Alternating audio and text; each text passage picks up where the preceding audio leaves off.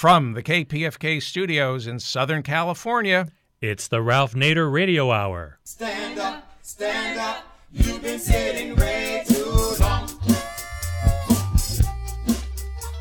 Welcome to the Ralph Nader Radio Hour. My name is Steve Skrovan. and unfortunately, David Feldman is having some technical difficulties, so uh, he's not joining us as of yet. He may jump in a little bit later, but we do have the man of the hour, Ralph Nader. Hello, Ralph. Hello, Steve. We'll miss David. We do miss David desperately, but we're going to soldier on. And I'm going to put some topics on the table here. Last week, President Trump wrote an op ed, which was published in USA Today I think we know enough about Donald Trump to know that he probably didn't actually write it himself. And it was all about Medicare for all and how bad it would be for America. And not surprisingly, it was full of lies. Just about every major news media organization, broadcast, print, and electronic, blasted the president for those lies. Aside, of course, from Fox News, they just kind of reported on the controversy. Even Jimmy Fallon called him out. And I think we all know that when you've lost Fallon, you've lost America. Well, what this attack on Medicare for all indicates to me is that the Republicans are very afraid of this idea. So, on the show today, we are going to talk with an activist who has been campaigning for Medicare for all. He's actually on tour promoting it all across the country. He's going to come to us from uh, a tour stop in Dallas this week, and his name is Michael Lighty, and he's the director of public policy for National Nurses United. I actually have a soft spot for nurses. My mother was a nurse. So who are you going to trust about your health care, Donald Trump or my mother? We'll talk with Mr. Lighty in the first half of the show. In the second half of the show, we're going to talk about Ralph's latest book. I know some of you might be thinking, wait, didn't you just do a show about Ralph's latest book? We did. The Fable How the Rats Reformed the Congress. This is a new book. Ralph writes books like I change shirts, people.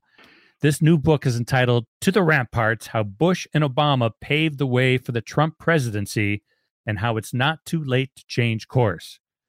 We're going to dig into that one as well as make our way through a raft of your listener questions.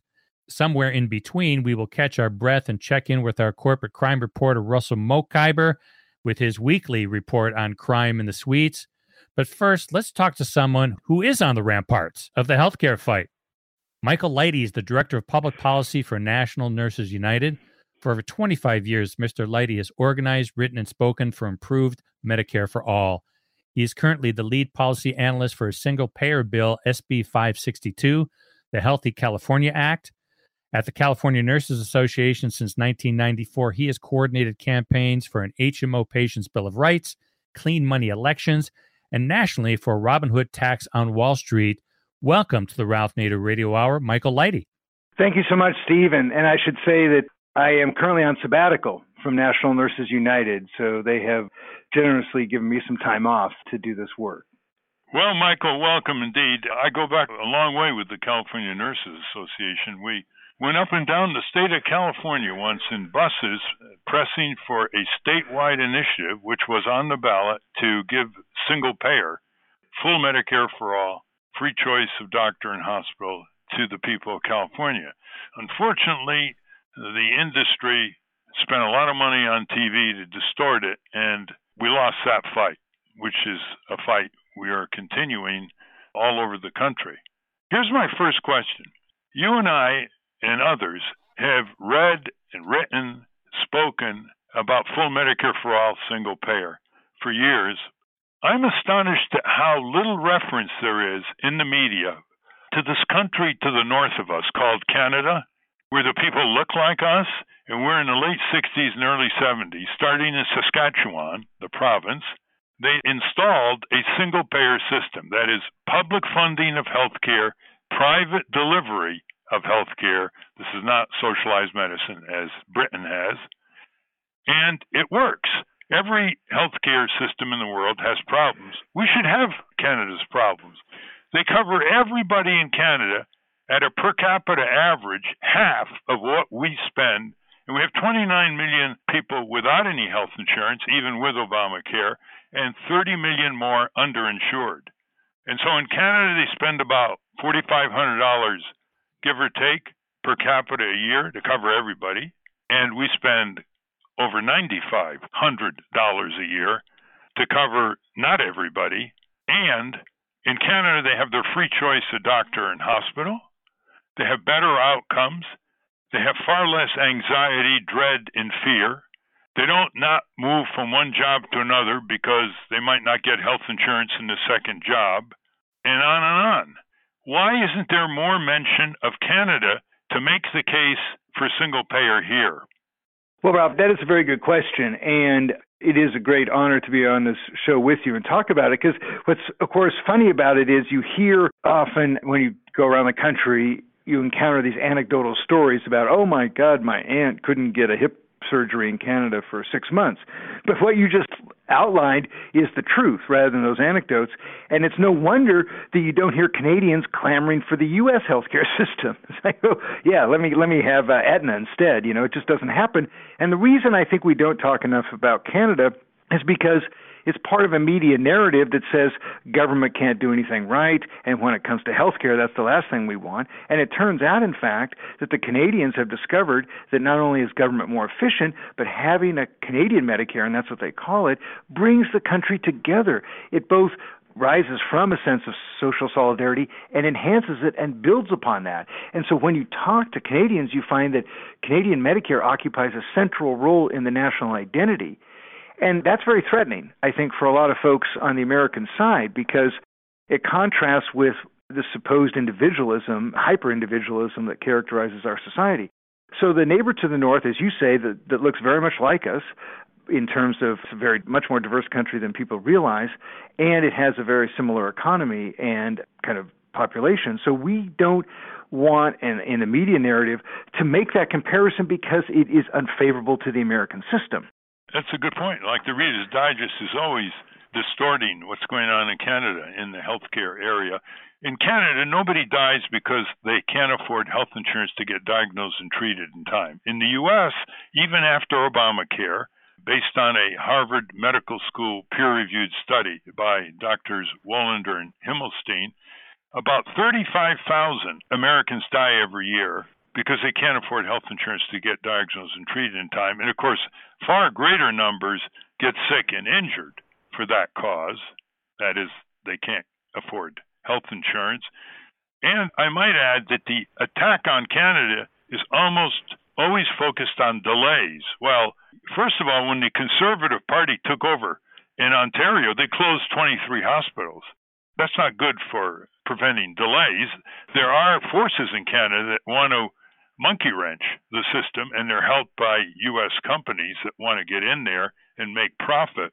But I know a lot of people in Canada. I have relatives in Canada, and they don't have to wait except for elective surgery, for example. They may have to wait. But how long is the wait when you don't have health insurance and you can't pay for anything in the U.S.? It's interminable. And in Berkeley, sometimes you have to wait months for certain procedures. There aren't not enough primary care doctors in the U.S., so even with this huge profit making system, there are all kinds of blockages.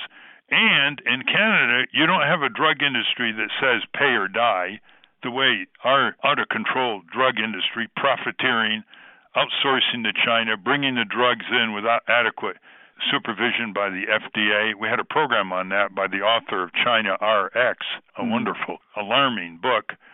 So I think one way we should start taking single payer to a higher level. Already, H.R. 676 in the House of Representatives, as you know, Michael, has over 120 signers, all of them Democrats, so it's not like it's starting from scratch. We ought to talk more about the Canadian experience on the ground for Canadian families. I, I agree, and I think, Ralph, that what you say about delays is so true. If you actually look at the studies like the Commonwealth Fund does, you find that the U.S. to get a specialist can take as long as six weeks.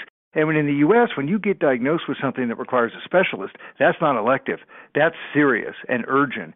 In many cases, folks cannot get access to those appointments, and that's just kind of the random experience people have.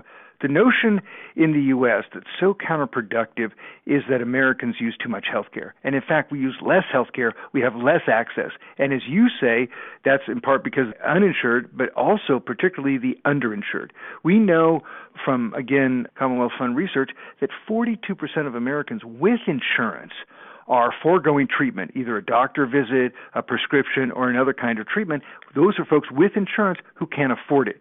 So the barriers to care are real, and the principle that Canada has solved that we have to talk about is guaranteed health care with no barriers to care. And that principle simply does not apply in the U.S. system except to the very wealthy. And, and the profiteering is staggering. You've done research yes. with the California Nurse Association on the CEO pay.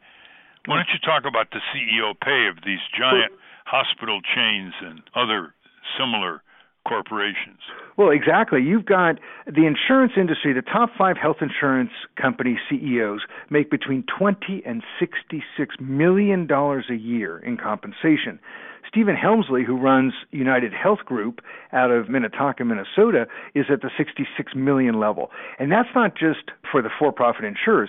It is typical that CEOs of nonprofit hospital chains make 7 to 10 million dollars annually just CEOs of hospital chains who are nonprofit, supposedly charitable institutions. This executive compensation, we identified in California over two dozen, not CEOs, but just two dozen executives in health insurance companies who make over a million dollars a year. And then you look at hospitals, it's not unusual to have medical directors making seven figure salaries, administrators as I mentioned, seven to ten million. You've got at the same time a huge rise in the number of administrators in hospitals and a reduction or a flatlining of doctors and nurses. So the whole system is skewed, as you say, to profit making. And the result of that profit making are executives, and in the for profit industry, they're driving short term results, restricting access to care in order to pad the bottom line, raise the stock price.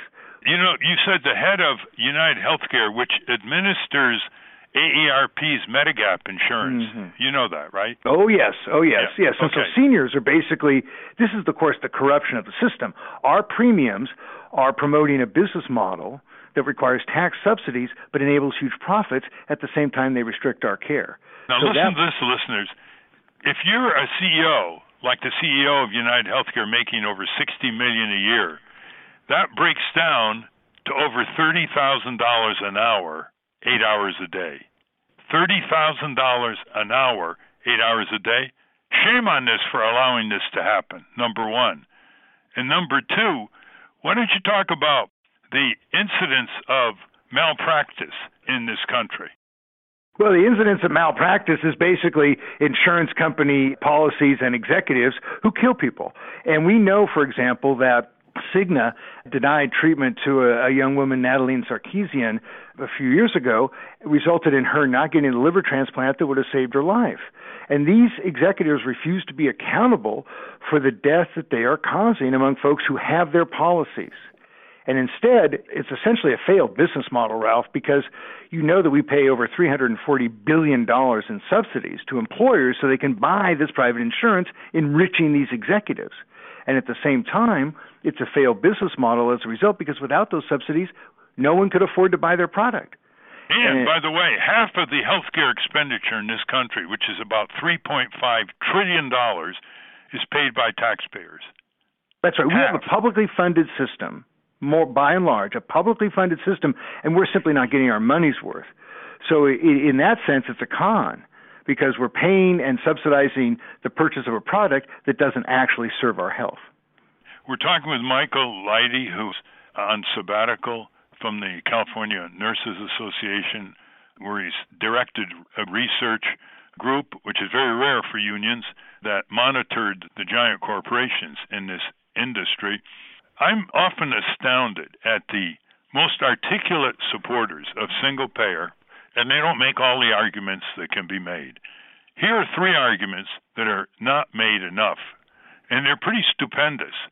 Number one, we've had people on this program who are experts saying and documenting that 10% of all healthcare expenditures in any given year, at least, is drained away by computerized billing fraud and abuse. That's 350 billion with a B this year. Number two, Johns Hopkins University School of Medicine was only the latest peer reviewed study coming out with a minimum figure of 5,000 people a week dying from preventable problems inside hospitals hospital induced infections, malpractice, other things that are preventable. Has 250,000 Americans a year dying from preventable hospital problems, and the doctors who put this report out a couple of years ago said that was their minimal figure. The third is insurance companies and others fighting to block wrongfully injured medical patients from having their day in court and a trial by jury, using the law of torts to get a remedy, to get compensation for their terrible injuries, to disclose some bad practices in healthcare firms around the country, and to deter unsafe practices. Why, Michael Lighty, do not our side, people in Congress, people who write opinion editorials, people who are advocates on the ground, use those three arguments more frequently? Yeah, I think we are caught up in a certain kind of a policy framework that doesn't address and articulate, as you say, some of the systemic problems on the delivery side, right? We're often focused on the financing side, or on insurance, but really what we're talking about here is what's going on in hospitals and why it is so wasteful to our system as a whole. And there is first huge administrative waste in hospitals, whole departments devoted to billing and claims, pre-authorization and so forth. But you're right all those issues of hospital acquired infections, of preventable incidents that result in morbidity, can be prevented in a system that makes patient care the priority.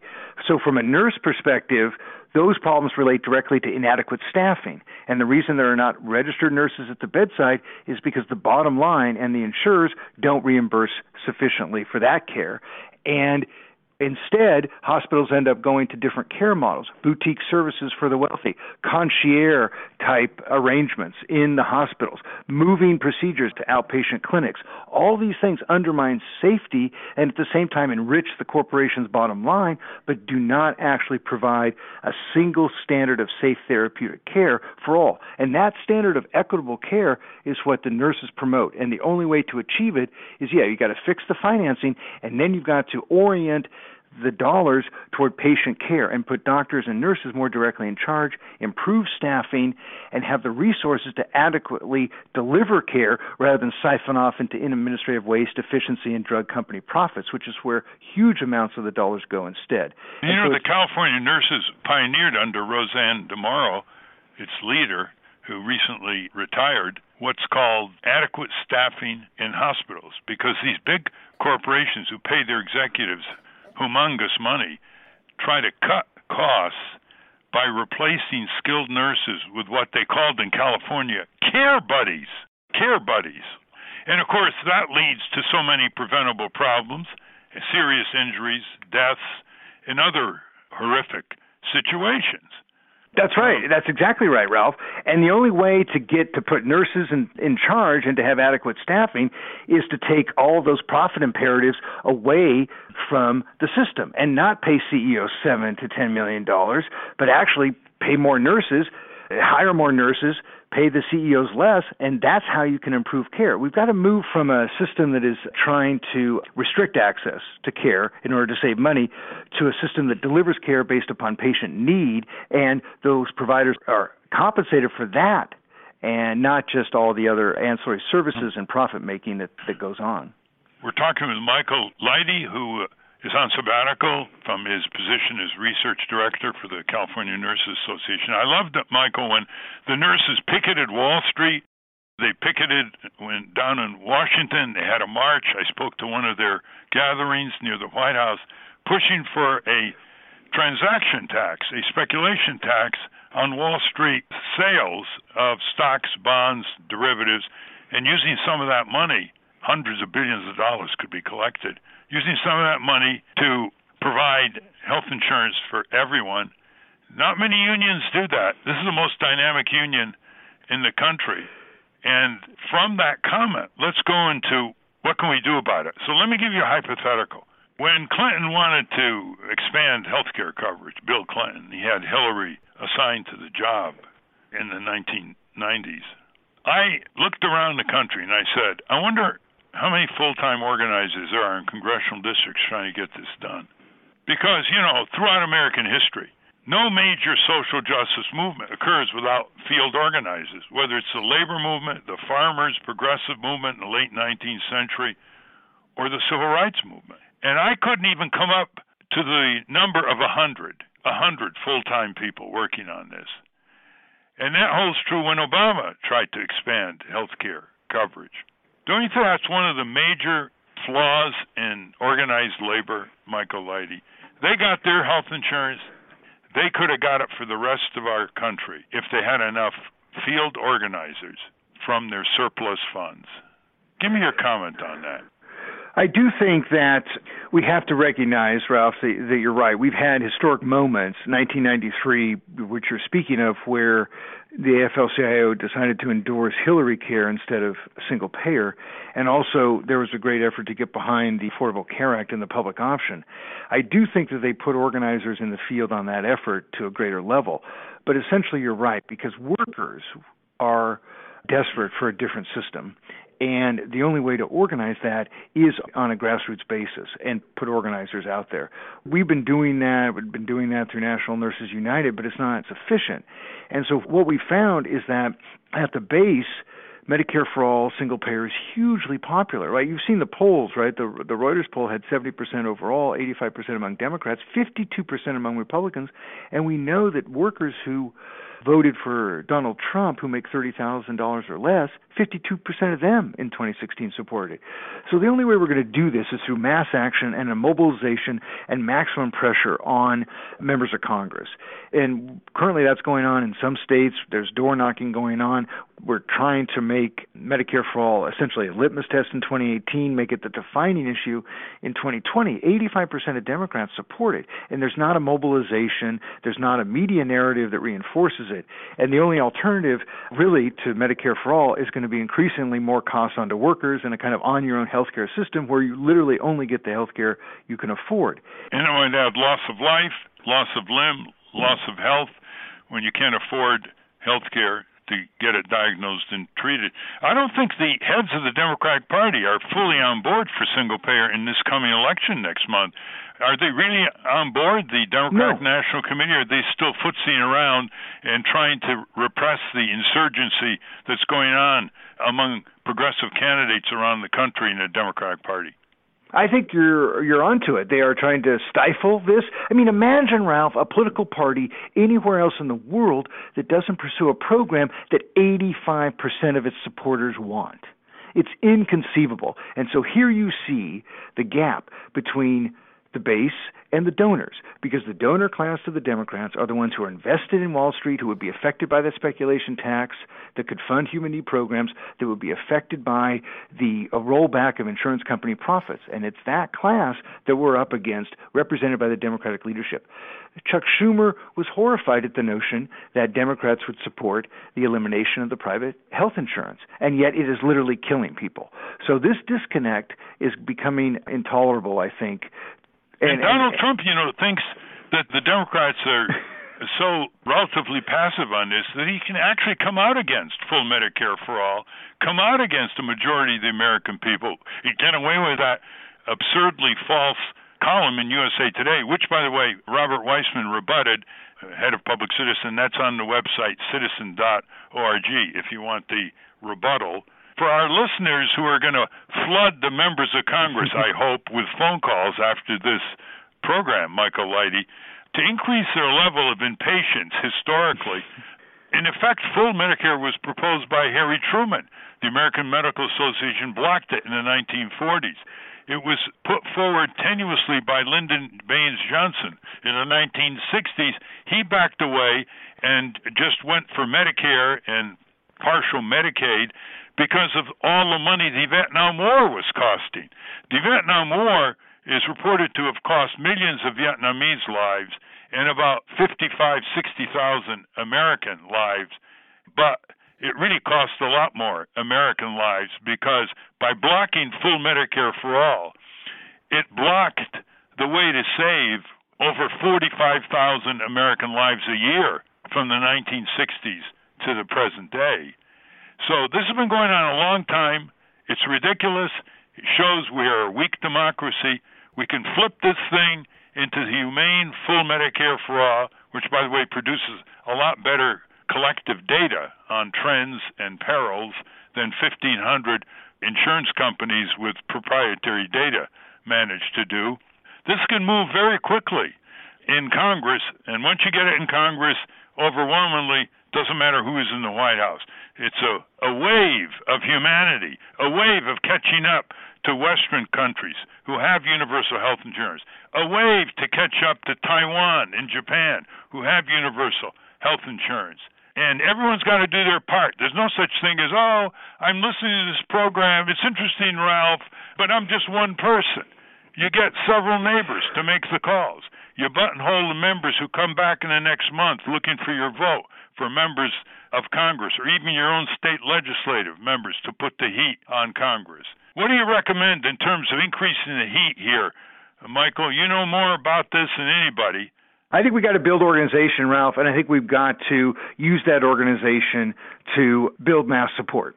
And I actually think that it requires everything we can do. But what it requires most is a strategic sense of really competing for power and be bold and make an aspirational, affirmative demand for guaranteed health care through Medicare for all. That represents an alternative vision to what the Republicans represent or what the donor class, the corporate Democrats represent.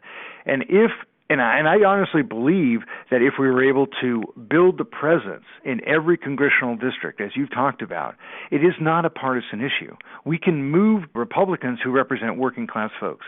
We can move Democrats who wouldn't otherwise do this because it's not quote unquote safe. And it's only through that popular mobilization. And you and I have talked about this. We, there are small tactics we can do. Letters to the editor matter, right? Small group meetings that then build into a door to door canvass. And that door to door canvass recruits people to a town hall that tells stories about how inadequate the system is. And those stories point to an alternative. And then we build a bigger meeting that then is able to mobilize direct actions and members of Congress at their offices at the district level, get into small media market papers. Obviously, we're building a story and a narrative about healthcare in social media. I think we literally have to do it all. But what is particularly frustrating is we've never seen the level of resource commitment, either from organized labor or nonprofit foundations, for Medicare for all that we've seen for every other type of liberal reform right? $80 million to support the ACA.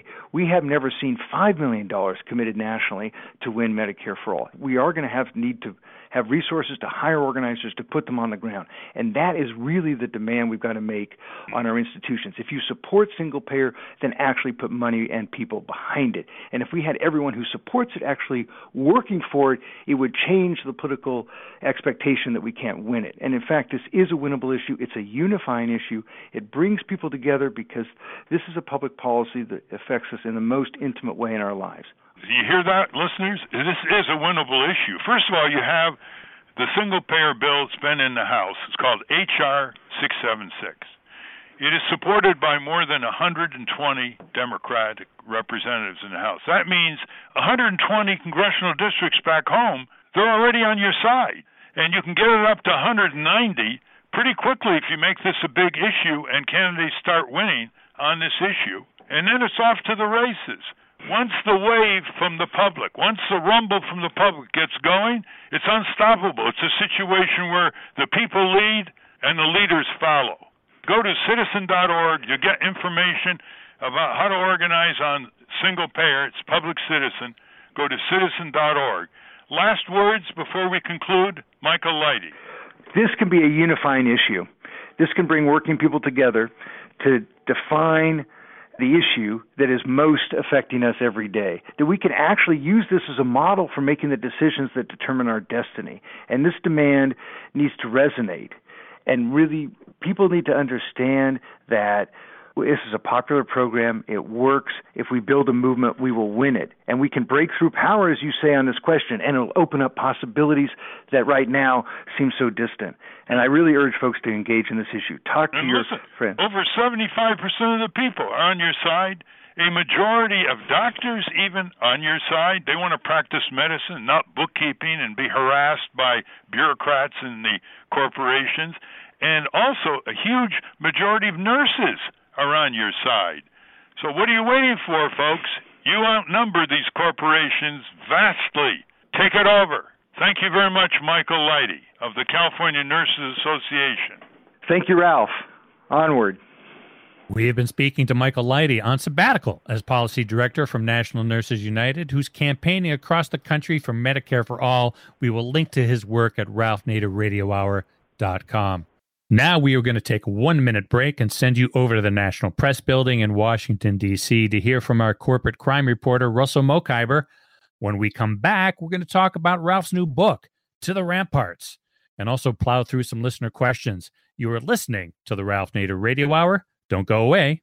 From the National Press Building in Washington, D.C., this is your Corporate Crime Reporter Morning Minute for Friday, October 19, 2018. I'm Russell Mokhiber. Credit Suisse Securities will pay $10 million to settle charges brought by the Securities and Exchange Commission and the New York Attorney General regarding material misrepresentations and omissions made in connection with its now closed retail execution services businesses handling of certain customer orders. The settlements required Credit Suisse to pay $5 million to the SEC and $5 million to the New York York Attorney General. Credit Suisse created the RES desk to execute orders for other broker dealers that handle order flow on behalf of their retail customers. The SEC's order finds that although RES promoted its access to dark pool liquidity to customers, the firm executed an exceedingly minimal number of held orders, orders that must be executed immediately at the current market price in dark pools from September 2011 to December 2012. For the Corporate Crime Reporter, I'm Russell Mokhiber. Thank you, Russell. So, Ralph, I uh, was watching MSNBC yesterday, and who appears with Ari Melber in between two guys, two DJs or something? It's you. And you were talking about your new book. Tell us about your new book. Well, it's called To the Ramparts How Bush Obama Paved the Way for Donald Trump. But it goes even further back. You remember, Ronald Reagan was a fabricator. He smiled he shrugged his shoulders, but he said to the press on two occasions nuclear missiles, once released, they can always be recalled. Or when he was asked about homelessness, he said, You know, some people like to sleep out. he was asked about hunger, he said, Well, you know, there are people who are on a diet, and the worst one. And he got away with this as governor of California, speaking to the Chamber of Commerce in California at a luncheon. He was asked, Governor, what do you think about the emerging African nations? And Reagan shrugged his shoulders and smiled, cocked his head, and said, Well, when these guys have you to lunch, they really have you to lunch. That's his quote. Yeah. I mean, so you can see he fabricated government statistics, he turned things up and down that were true, and he made them fake. And Donald Trump's watching this a younger Donald Trump is watching this and watching him get reelected in a landslide against Walter Mondale in 1984. And then comes along George Herbert Walker Bush and could have prevented the Gulf War easily, the way the British did, just when Saddam Hussein was rumbling his tanks toward Kuwait. He could have sent you know, he's allied formally with Kuwait, the U.S. They could have sent paratroopers group the way the British did years earlier, mm-hmm. and Saddam would not have invaded Kuwait. Instead, there was a bloody war. Tens of thousands of Iraqis destroyed. You know, the drinking water, electrical systems in Baghdad destroyed.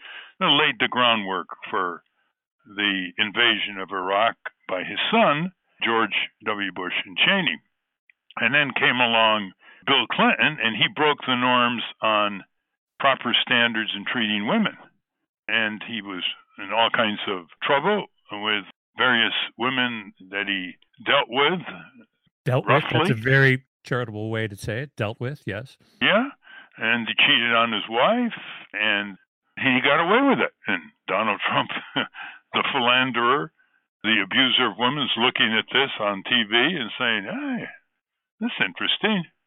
And then along came George W. Bush and smashed all respect for our Constitution, international law, federal statutes, Geneva Conventions by his criminal invasion of Iraq and his uh, sending drones all over and special forces. And Donald Trump's looking at this and saying, hey, he got reelected over John Kerry. He got away with it. Well, you know, nobody has an antenna as sensitive as George W. Bush except Donald Trump. And Donald Trump could write a book called Getting Away with It All. And he's watching all this. And along comes Obama, and instead of waging peace, Obama extends the drone strikes in Afghanistan and all over and allows Hillary to persuade him to blow apart Libya, which is still being blown apart, spilling into neighboring African countries, chaos, violence, militias. And Donald Trump is watching this and say, hey, you know, Obama did all this and the Democrats reelected him in 2012. What's there not to like? At the same time, the people back home, enough of them didn't do their homework. Enough of them didn't think of their own self interest. All these politicians scurrying around, freezing the minimum wage, not giving them full health insurance, full Medicare for all, not cracking down on corporate crime, fraud, and abuse, looking the other way at huge waste and the expenditure of government taxpayer dollars, looking the other way when they bailed out Wall Street and they bail out every day subsidies, handouts, various businesses.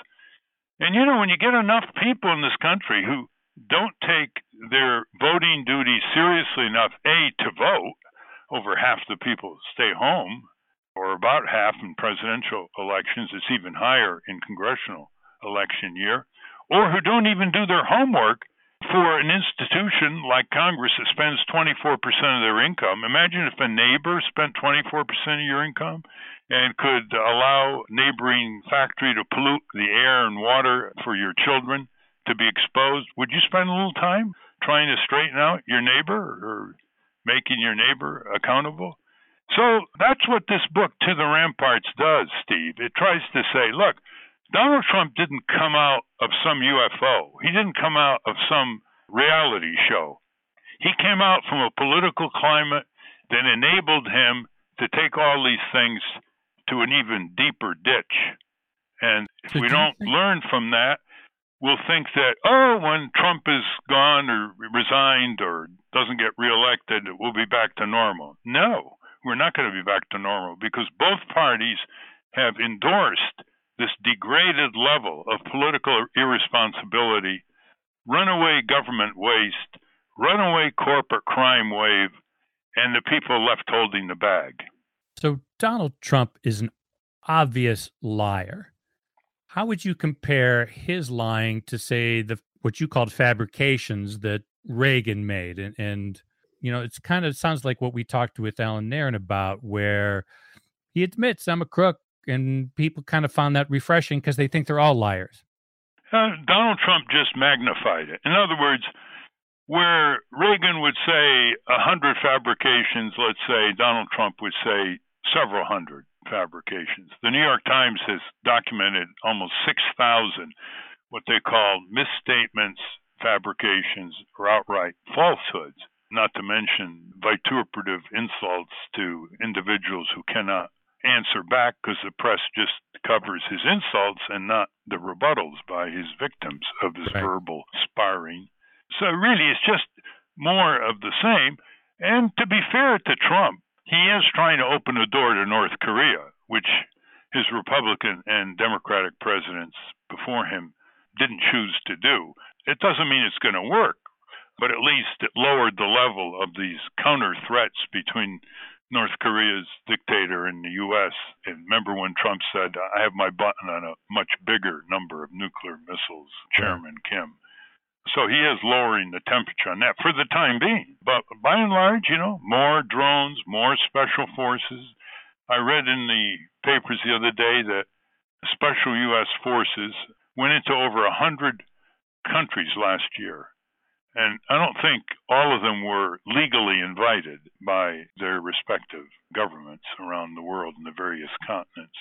Well, Seymour Hersh was talking to us a couple of months ago about all the stuff we're doing in Africa that nobody knows about. Yeah, well, that's still a bigger story yet to be disclosed. In fact, do you remember Seymour uh, said he, he might write his next book on this? Yeah, we, we got soldiers and operatives in all kinds of African countries. It's interesting that most of Africa was broken up in colonies by the French, the British, the Portuguese, and even the Germans. in the 19th century and later. And yet they're not as present in these former colonies where they still have, you know, business contacts and educational institutions, religious institutions, and so on. Nowhere near is the U.S. empire. So, to the ramparts, is it organized sort of chronologically? Do you take us back to Reagan and then go through HW and then Clinton and and uh, no, it isn't. That, that gets to be a little tedious when you do that. It goes in and out. It has some interesting letters that I've sent to Bush and Obama. It mixes it up, so makes it more readable. But that's generally the theme. And I might add, I didn't do justice to Reagan in terms of his fabrications, as uh, Mark Green did when he wrote his famous book, Reagan's Reign of Error. Reagan's Reign of Error by Mark Green. Wonderful book. Shows how much Reagan got away with just by smiling and shrugging his shoulders and with that nice voice that he had. Yes, or the avuncular grandpa. Yeah, it's true. Uh, some of the stuff in, in Mark Green's book is just beyond hilarious. Well, and of course, as we all know, regular listeners know, you are always offering a path forward, not just lamenting the past. So the the second part of it, this is one of the longest titles, one of, the, of books you've had, which is yeah. how Bush and Obama paved the way for the Trump presidency, and how it's not too late to change course. How is it not too late to change course? And how does that relate to the fable you just wrote, which we talked about a few weeks ago, called How the Rats Reformed the Congress? Well, not surprising to a lot of our listeners, I start with the Congress. The Congress is the fulcrum of our federal government and a lot of impact at the state and local level. I mean, that's where the appropriations, uh, authorizations, war declaration power, confirmation of judges, treaties ratified, hearings on consumer protection, health care, minimum wage, all this can start with Congress. And the nice thing about it is it's the tiniest but most powerful branch of government under our Constitution. And it can turn around a lot of the executive branch, certainly can determine public budgets, defloat the bloated, wasteful military budget, as some retired generals and admirals have been calling for over the years. They can develop a huge jobs program in terms of public repair of our infrastructure, schools and bridges and public transit, sewage, water systems, you know, the same old list of our crumbling public economy and services. And so it gets back to 1% or less of the people getting together, organizing Congress watchdog groups. And, you know, I've done this in books and articles, and I thought maybe I better use a little humor. So I did this fable called How the Rats Reformed the Congress. It's actually quite timely because there's a major rat infestation in Washington, D.C. It's all over in the alleys, just uh, more and more complaints than ever before to the right. uh, D.C. authorities to do something about it.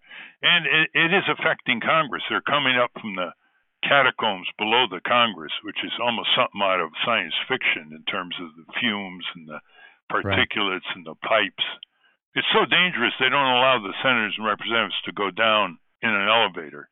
So in this book, the rats come up to the toilet bowls of the leaders of the House, the Republican, Democrat, creates huge embarrassment. They try to cover it up. A Damon Runyon type character, a reporter, sniffing around. He gets the story. He puts it out all over the country.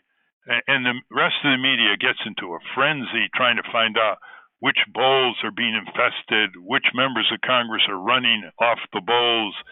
And this developed such derision against an already low in the polls Congress that some activists perk up and say, you know, this is a great opportunity. When is the when's the last time we had so much public attention or interest in members of Congress? And they mobilize from the grassroots up, surround the Congress with hundreds of thousands of people bullhorns demanding change, demanding their resignation. Three billionaires come into town. They say, hey, you know, we've got tons of money. Let's help fund these people so they don't go scratching with the tin cup to pay the expenses. And it is a lot of drama. The Wall Street masters get involved with the trade association people, lobbyists in Washington are trying to block it. They're trying to infiltrate the crowds with agitators. There's a lot of drama, but there's a lot of realism, Steve. Right. I wish this could become a, a little movie. It would be really fun. Right. There's too many Mickey Mouse movies. Let's have a real serious movie where the rats help change the country. Ralph, you've mentioned this before, and I just want to ask you about it. You, you, you said the Congress is the tiniest branch, the smallest branch of the government. What do you mean by that? It's 535 people. There's only nine people in the Supreme Court, one person in the White House. What? How is it the tiniest? Well, it's the tiniest compared to the executive branch. There's no doubt. The executive branch has over about 2 million people, military, civil servants. I see. And it's smaller than the federal courts. Because if you take the federal district court, the Circuit Court of Appeals, and the Supreme Court, that budget is larger than the Congress. And it's smaller in another way. It's personal. People know their names. How many people know the names of the district court judges? You know, half the people don't know the names of their member of the House, to be sure. But, you know, in an instant, they can find their names. And a lot of people do know the names of their two senators and representatives. And why? Well, you know, district court judges don't go to clam bakes. They don't go to high school reunions and flaunt their presence, but members of Congress do. They don't like to engage in town meetings created by the citizens with the citizens' own agenda, summoning them. And this book, by the way, How the Rats Reformed the Congress, has the summons where the citizens summon the senators and representatives to their own town meetings and their own agenda. That was a very, very important tool of democracy that I outlined in this book, How the Rats Reformed the Congress. So, personal politics should interest people. These senators representatives they have their own stories, their own virtues, their own frailties. They have kids or grandkids. They have their own friends back home. All these can be turned to the good in terms of making them accountable. Right now, Steve, Congress is a bubble in Washington encircled by thousands of corporate lobbyists wining and dining. You could almost see a cartoon on that. Yeah. And the best short way to describe Congress and its secrecy and its exclusionary attitudes toward the American people, other than asking them to vote, they get their money elsewhere, as you know. The best way to describe it in a short number of words, here it is Congress is open for business, but closed for democracy. Ralph, now it seems like in the past couple of weeks with this Jamal Khashoggi murder that apparently happened in the Turkish consulate by Saudi Arabia, that some of Trump's own party in the Congress is finally pushing back against him. How do you see that playing out? I don't think that's going to have much stamina. I think the elections, Trump going to their districts, attaching to the Trump aura, is going to prevail. Coming up next month, everybody's got to go vote. You know, you don't like who's on the ballot, write in your own name or say none of the above or vote for a third party. But you got to get out and vote because here's the prediction, Steve. Mhm. Although more people are expected to vote next month than voted in the past off year congressional election, which is 2014, about 115 to 120 million eligible voters, 18 years or older, will not vote. Just think of that number. Yeah. That's why I say it's easier we think and how we can turn it around. Because most of these bad regimes won very close. I mean, they either win in Ohio or Florida or Pennsylvania by very narrow margins. And those margins can be overcome by people going to vote and not staying home. So that's why I want people to really get this book, How the Rats Reformed the Congress. They can get it by going to ratsreformcongress.org, ratsreformcongress.org. And that's a serious website on how you can actually organize a congressional rat watchers group to watch Congress in great detail. A lot of our experience over the years. You can develop your own citizen congressional oversight or watchdog skills by using that website. And if you want discounts, there are five of these paperbacks offered for $50 in a discount offer. So you go back to ratsreformcongress.org. You can buy the paperback, or you can buy the hardback, or you can buy five paperback copies for $50, and you're on your way. It's a lot of fun. I like to say it's better than a good bridge game, but I don't say that too loud because more people spend more time on their bridge game in, in one week than the American people spend on Congress. Have you ever seen the magazine for bridge players and all the bridge contests and so on? It's absolutely fabulous. It's yeah. unbelievable. It's a complete sub economy of delightful leisure. I yeah. envy them. Yeah, yeah. Well, we will link to How the Rats Reformed the Congress at ralphnaderradio.com, as well as the even newer book, To the Ramparts How Bush and Obama Paved the Way for the Trump Presidency and How It's Not Too Late to Change Course. But right now, Ralph, we've got some uh, listener questions on the docket. Uh, you ready for me to throw a few of those at you? Here we go. Here we go. Our first one comes from a listener, Tammy Letts, who says, Ralph, can you address these two issues? One, how can we illegally obtain the names of those in Congress sued for sexual assault, harassment, with claims paid out by secret taxpayer funded slush fund? Doing so might show Congress they are not above the law. And two, how can we start a movement to repeal taxpayer funded pensions for Congress? Perhaps if we ban them from legislating their own perks, they will feel more beholden to protect Social Security. Well, first of all, some of these disclosures are already in the press. For example, uh, Congressman John Conyers had a matter settled with taxpayer money paid to the woman who filed the grievance. So the answer to the question twofold. One is ask your member of Congress to ask the House Ethics Committee to put out a, a complete list of all the settlements, secret settlements paid to women who complained about being sexually abused or assaulted. They have them. Some of them have already been put out. I'm not aware that they've all been put out. So I think your member of Congress, when you make that kind of request, is going to respond and get the House Ethics Committee to do so. So some of it is you can just go to a search engine and find, you know, put in the right words, and some of the members of Congress whose settlements were paid by the taxpayer, imagine that, will be public. Then you can go from there. The second, yeah, I've always said that we should demand a simple bill that says all benefits that members of Congress have given to themselves, pensions, health insurance, you name it, must be given to all the American people. If they're not, then they don't get it in Congress. And so, if they don't provide the kind of pensions they're getting to the American people, then they don't get the pension. And I think Tammy is right. If the members of Congress are forced by the voter to be part of the risk, they'll be part of the solution. And they will defend Social Security to the hilt.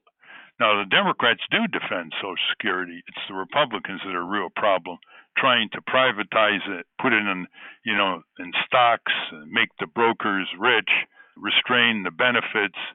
They can never get around Franklin Delano Roosevelt's Social Security. They have never gotten over that.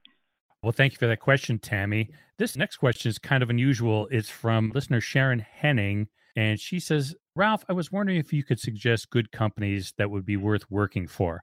I love working, would like to give my time to the companies that are worthy of my time.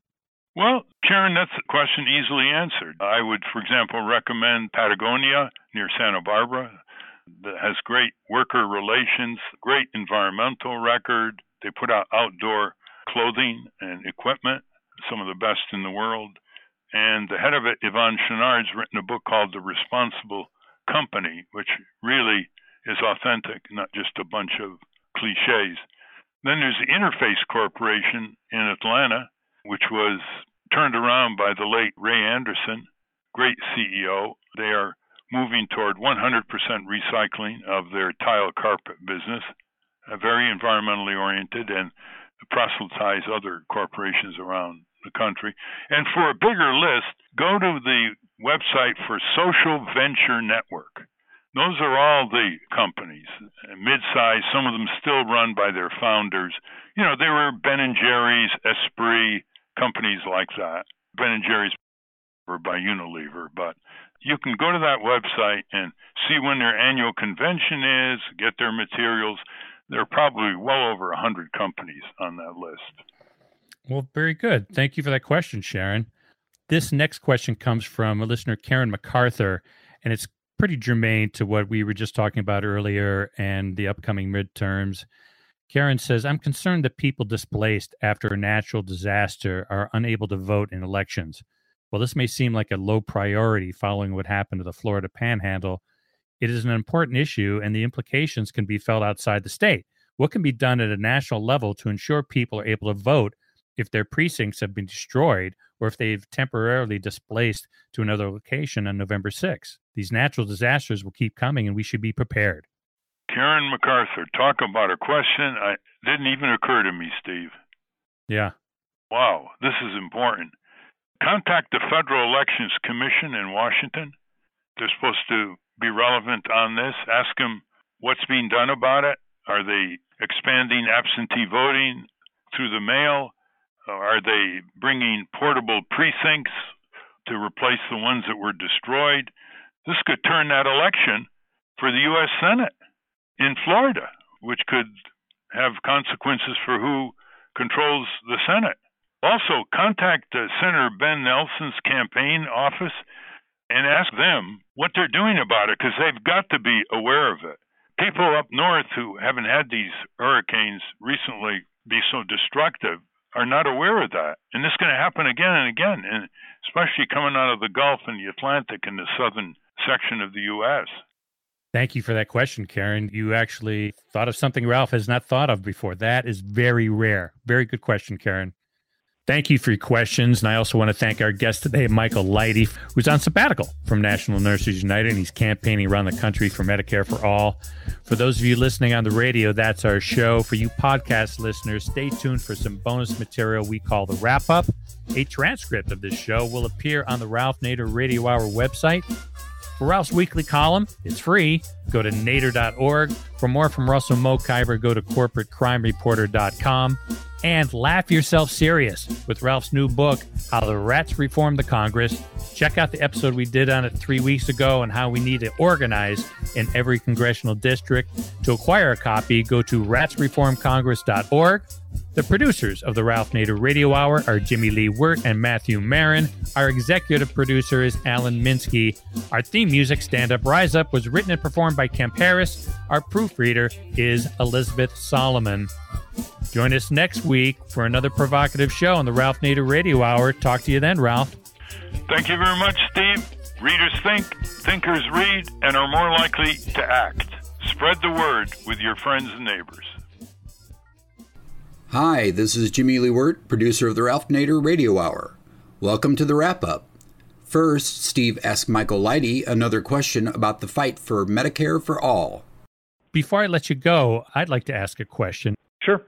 Five years ago, which is almost the life of this program as we're heading toward our fifth year, this whole thing, Medicare for all, was a taboo subject. You never heard it mentioned in national media. Now I'm not only hearing it mentioned, but the president seems to have to put out an op ed in USA Today, the paper that has the largest circulation in America, against it.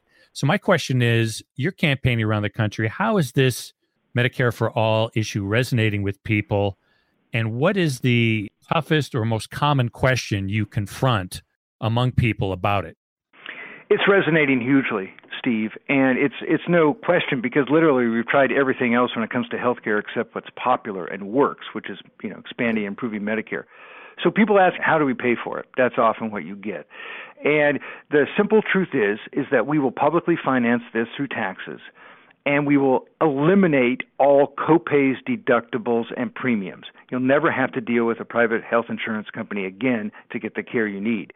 And that change is a mind twist for some. We've been told government's the problem or even government's the enemy. And now we have to understand that rising prices are driving healthcare costs, and the only way to control those prices is to have us collectively in one program, and that is utilizing the power of government to control those prices, control costs, and guarantee healthcare.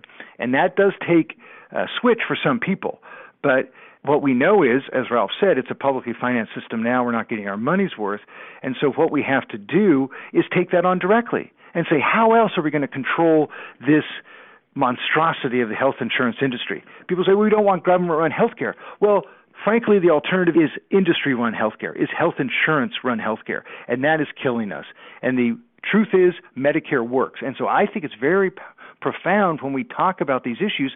When I respond, as I say, do doctors like Medicare? Mostly they do. Do they like private insurance? No, they don't. Do patients and seniors get the care they need? We actually believe in healthcare as a human right once you turn 65. We now just need to make that universal.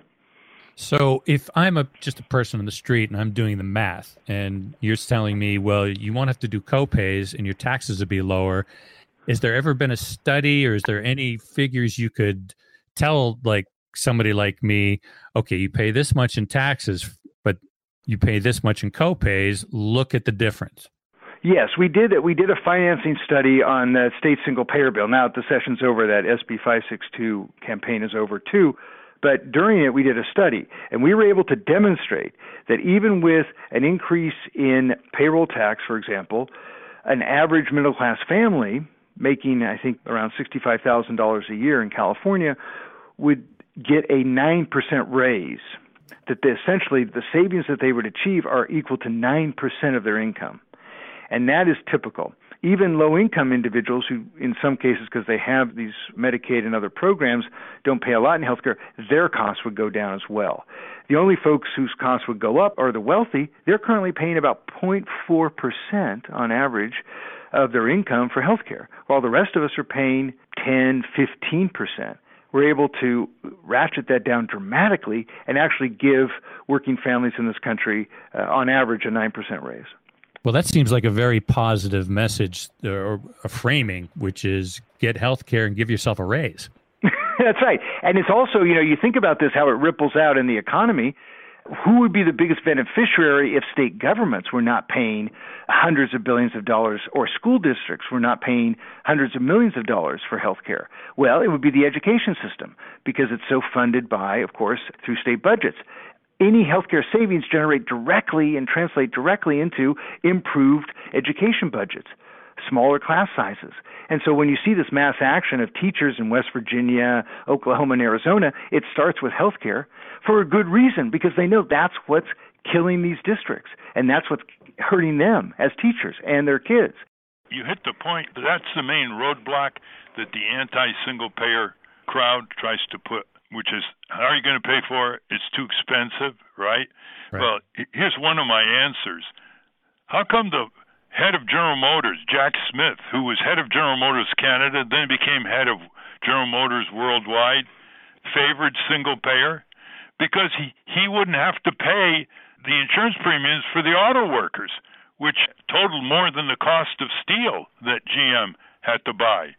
And he saw it as a competitive leveling of the playing field with companies in other countries where they have single payer and the companies don't have to pay these soaring health insurance premiums for their workers. So someone like Jack Smith, and he's not the only one in the world of CEOs of big companies who know the single payer overall is much more efficient and produces much more competitive corporate behavior with their competitors overseas. But that seems like such a powerful lobby. And I know we've talked to uh, a gentleman, I'm forgetting his name right now, who did the documentary Fix It, who's a businessman who's making the case that business should be all over this. How come they're not still? Yeah, that's Richard Masters. Uh, I mean, I, I think it's ideological. I think they sit on the boards of these companies, and and honestly, the business case for single payer is unassailable. There is no question that the bottom line of every business in this country would be served. Workers would end job lock. There would be new resources for innovation, and just as you say, Ralph, they would never have to deal with these insurance companies again. And I talk to small business folks and they want this. But you've got this whole construct that says, well, God, if we expand government and healthcare, what are they going to do next? It comes down to Congress, comes down to a couple hundred more members of Congress being turned around to get a sizable majority and join the 120 members of the House that are already on board on H.R. 676. Remember that bill number, listeners, and get on the backs of your senators and representatives right when they're most sensitive before the November elections next month. Well, thank you, Michael. We appreciate that. Oh, thank you both. Now, Ralph answers one last listener question. This next question comes from listener Tara Carrion. She says, Dearest Ralph, I want to start a national women's party, and I want you to advise me every step of the way. I watched what you went through when you ran for office the two times and the surreal, vicious attacks by the Democrats on your vote taking activity, and would like to benefit from your experience. I've started a Twitter account, USA Women's Party, to begin the process. I know nothing about the party making process, but my husband is a lawyer and can help do the legal work. Would you consent to be the main creator of a far overdue USA Women's Party? Please let me know. Well, Tara, you know, I propose all the time that there be a lot of choices for the voters. And so I like the idea of people starting independent parties, third parties. It invigorates the stagnant political process dominated by the two party duopoly of the Republicans and Democrats, who seem to be getting more and more alike and dialing for the same commercial dollars, although Trump has widened the gap, obviously, between the Republicans and Democrats recently. But on military and foreign affairs, corporate welfare, Wall Street, they're too much alike for my taste, and I hope for a lot of other Americans' taste. So good luck on that. Now, I'm not in a position to help anyone start a political party. I think the Green Party has about the best platform. Still, they need to get a lot more energy to grassroots and a lot more decentralized fundraising so they can have more staff. But if you go to the search engines, you'll find a lot of information and books on third parties. If your husband gets involved with your quest, all the technical details can be taken care of. But the historical surges in third parties, you need to read some books on third parties, starting with the Liberty Party in 1840, opposed to slavery, the People's Party, the Women's Suffrage Party, all the way to the populist, progressive, socialist, Green Party tradition. There's plenty of material on that. But thank you for that question, Tara. And that's a wrap. Join us next week on the Ralph Nader Radio Hour when we talk ballot access with Richard Winger, editor of Ballot Access News. Stand up, stand up. You've been sitting, raised.